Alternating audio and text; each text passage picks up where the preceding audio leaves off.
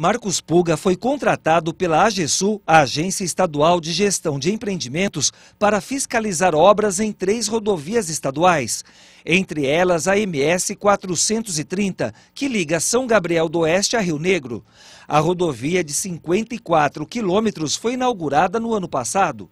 Segundo as investigações, Marcos Puga fraudava planilhas para conseguir liberação de dinheiro público para a empresa Proteco, que executou as obras. Na gravação da Polícia Federal no início de janeiro deste ano, Elza Amaral, braço direito de João Amorim, que é dono da Proteco, liga para Marcos Puga.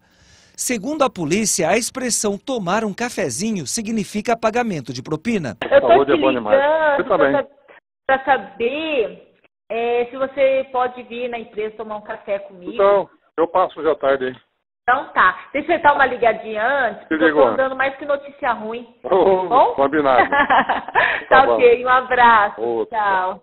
No dia 7 de janeiro, o vídeo feito pela Polícia Federal mostra a caminhonete de Marcos Puga chegando à empresa Proteco. Depois de sair da Proteco, o carro de Marcos Puga foi parado aqui, a poucos metros da empresa, numa fiscalização.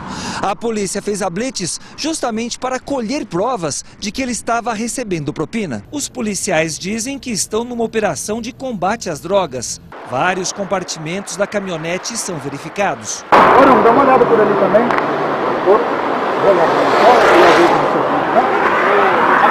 Depois de alguns minutos, os policiais encontram 10 mil reais no porta-luvas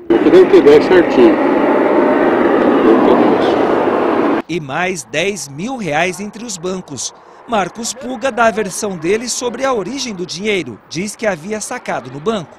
Recebeu de trabalho? Não, não, saquei na caixa. Ah, você sacou na- Saquei na Ah, caixa. Eu tô indo pra França agora em março pra comprar euro. Os policiais perguntam sobre o recibo de saque. O senhor não tem compro- comprovante de saque, nem nada, nem extrato, não sabe? Ah, vou ter que pegar pra trás, né? Não, pro senhor aí o senhor Não, não, não, tem. comigo não. Ele é liberado e, na saída, ainda cumprimenta os policiais. Acho que a droga que é o principal. É isso aí. Eu acho que foi isso. Só que eu acho que conheço você. Qual que é o seu sobrenome?